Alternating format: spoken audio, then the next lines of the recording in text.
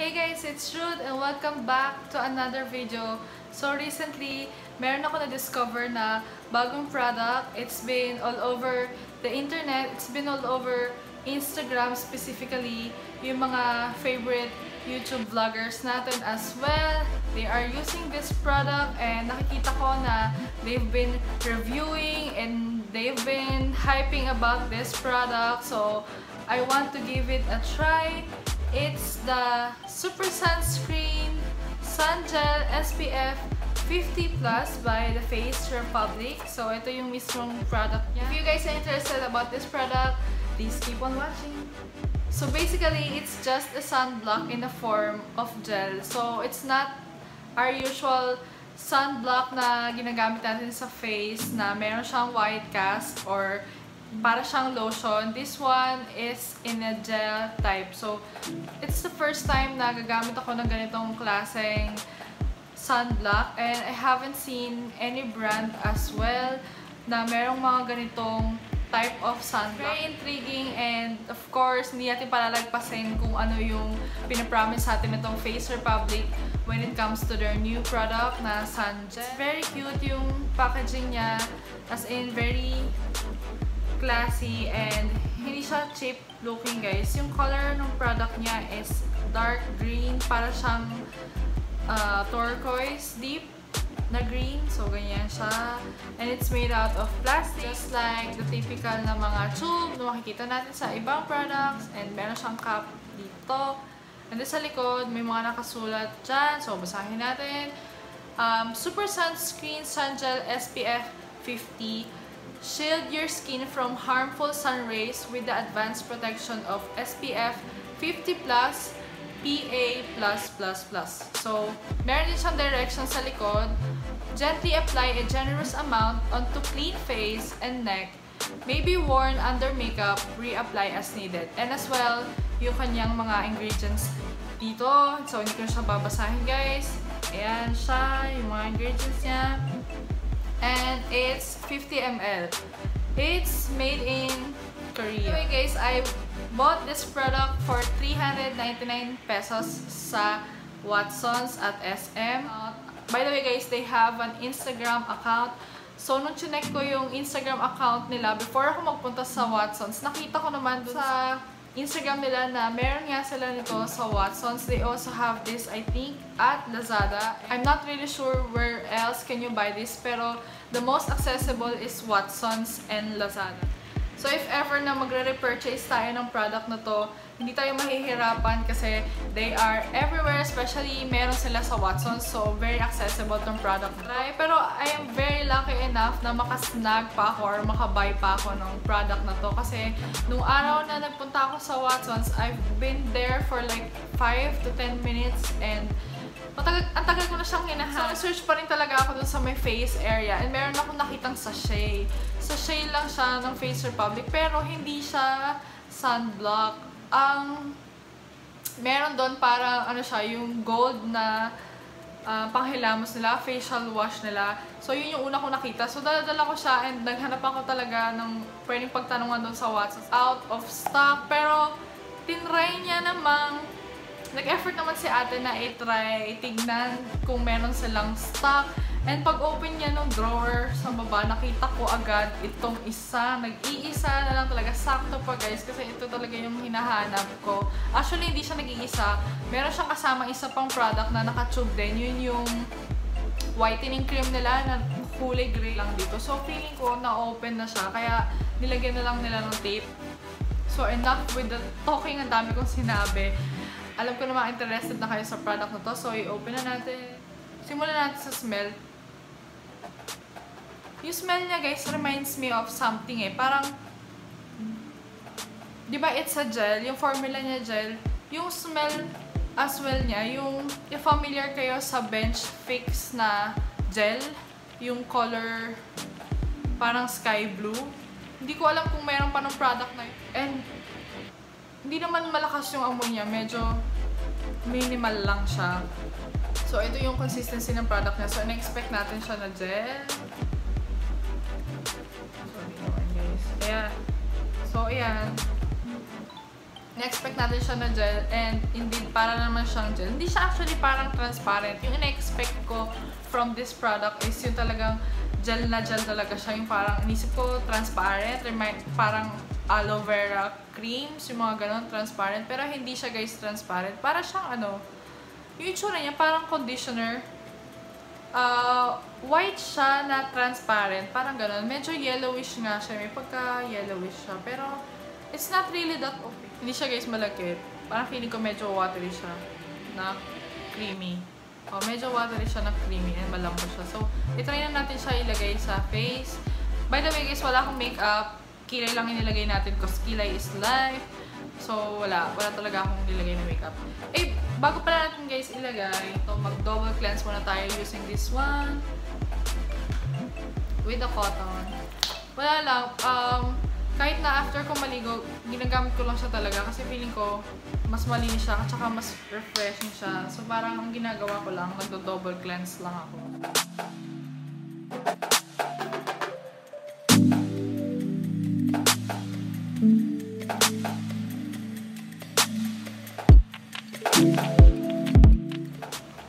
So what I do, dinadot ko lang siya sa face ko. And ikakalat natin siya. Using my fingers lang. Wait lang ako tayo ng mirror. Actually guys, ano siya, madulas. Madulas siya guys.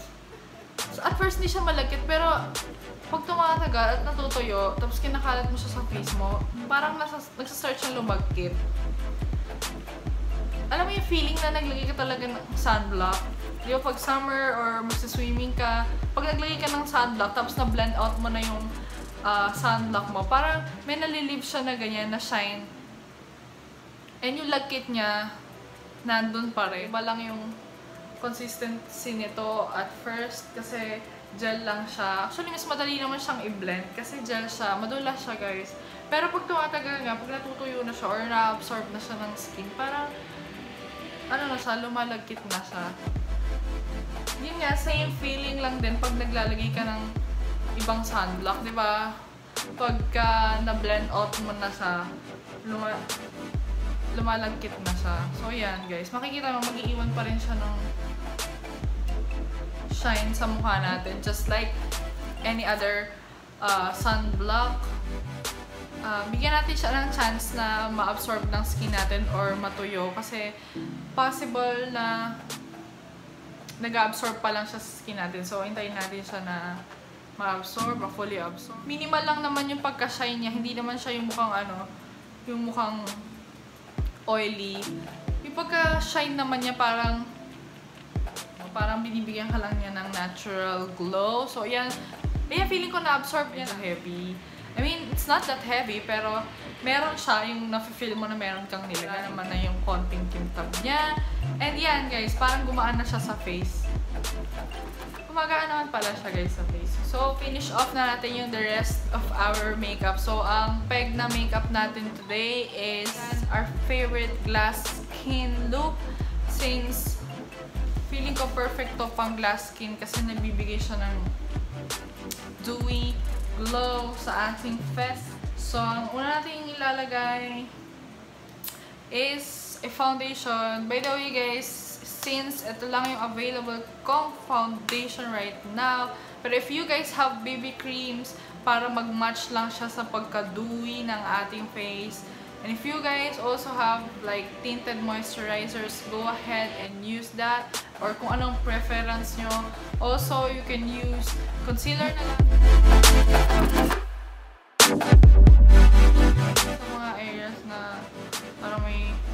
Uneven.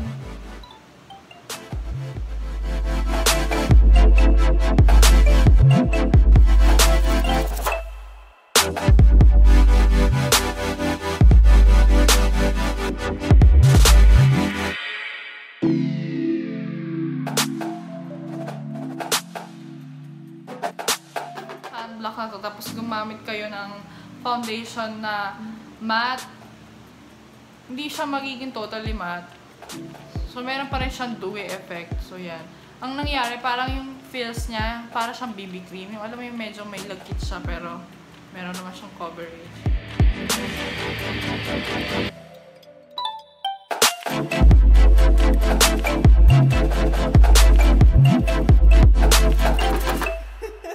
na matte yung ginamit nating foundation, nandun pa rin yung shine niya. Nandun pa rin yung dewy effect because of the sunblock. So, perfect pa rin talaga siya pang glass. Ako as well, itong highlight and contour stick.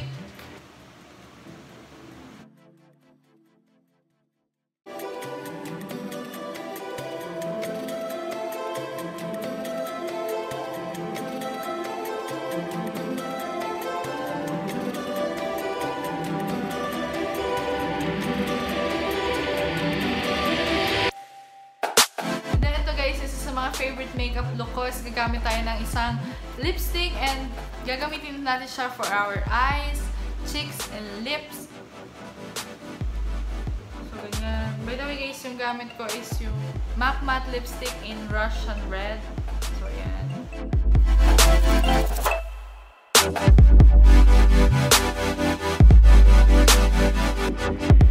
Natin siya using our fingers.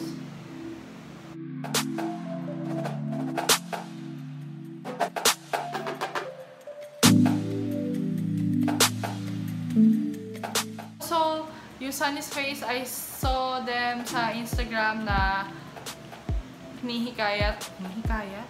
I saw them sa Instagram na ina-encourage nila yung uh, gamitin natin yung Sunny's Face all over ay all over our face as well. So, hindi ko pa yun natatry. I'm thinking of trying that. Especially yung bake na shade.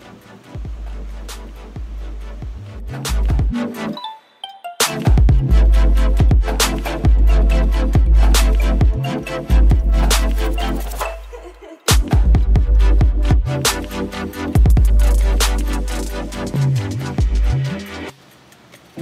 natin para hindi tayo mukhang nasapak.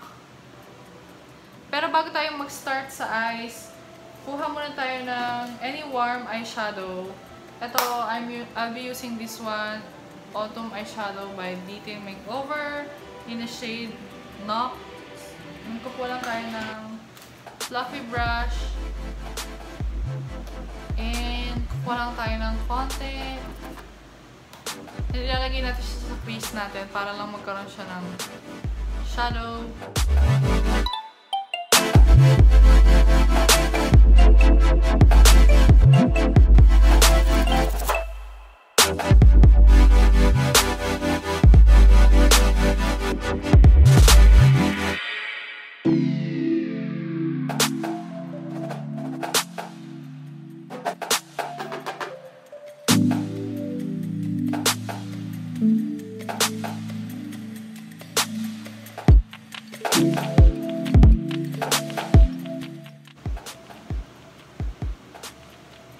So yan, pag feeling nyo na-define nyo na yung crease nyo, pabalik na tayo dun sa lipstick natin.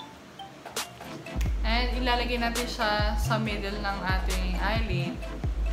And same with yung technique natin sa cheeks, ikakalat lang natin siya.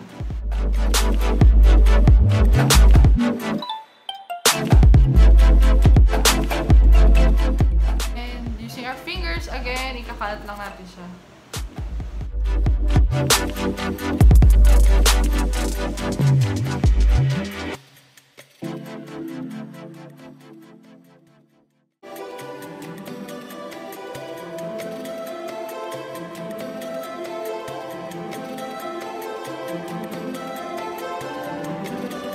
Babalik tayo dito kay Autumn Eyeshadow and kukunin natin yung shade na Apple.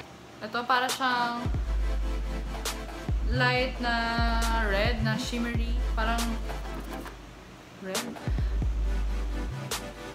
Para siyang reddish na may shimmer. Hindi ako marunong explain. So, kuha naman tayo ng eyeshadow brush. Kukuha lang tayo ng konti. Konti lang guys, kasi ayaw naman natin ng super plakado. And ilalagay natin siya kung saan natin nilagay yung red lipstick dito lang sa center ng ating eyelid.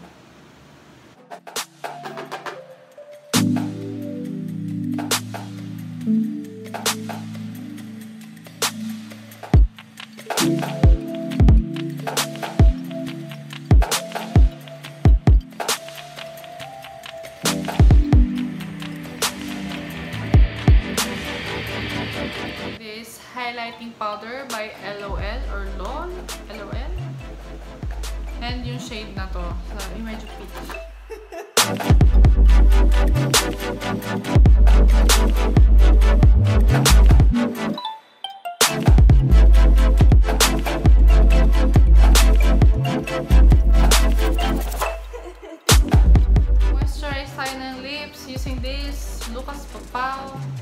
Lalagyan lang tayo ng konti. Gamit tayo na tong uh, Skin Potion na lip and cheek tint. Ito yung parang Mean Girls inspired nila in Glen Coco. Lalagay ko lang siya dito. Hindi kakalat ko siya. Balik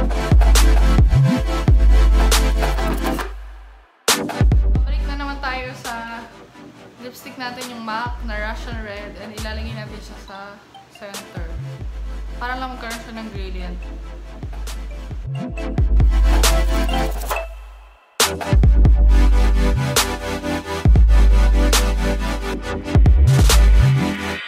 Ito na yung naging look natin. Pwede rin kayong pala na maglagay ng mascara. Hindi lang ako naglagay kasi I'm lazy, like that. Nagko-complement talaga tong si Face Republic sa ating look for today na glass. Ay, yung sunscreen na to, binibigyan na tayo ng natural um, glow sa skin para ma-achieve natin yung glass skin look. At the same time, hine-help niya tayong maprotektahan yung skin natin from harmful rays of the sun. For SPF 50 PA++, it's a must guys. As in, sa init ng weather ngayon, hindi summer, pero if it feels like summer, kailangan natin talaga guys gumamit ng maaasahan nating sunscreen. So for us girls, it's a must talaga na gumamit na tayo ng sunscreen. It's never too late to use sunscreen and take care of your skin. So that is it guys. This product is a really thumbs up for me. Hindi lang napoprotektahan yung skin natin from the sun, it also gives us a natural dewy look for our glass skin makeup look as well as it's not that pricey naman for 399. Actually, it's medyo pricey pero for a good quality product, 399 is okay naman. And lastly, what I really love about it is accessible siya guys. Hindi siya mahirap hanapin. So, pwede natin siyang i-repurchase if ever lang na maubusan tayo. Go ahead and check out Face Republic. If you guys as well are interested in their other products, comment down below kung ano pang gusto nyong pag-usapan natin or try natin na product. So that is it guys. Thank you guys so much for watching and I'll see you guys soon. Bye!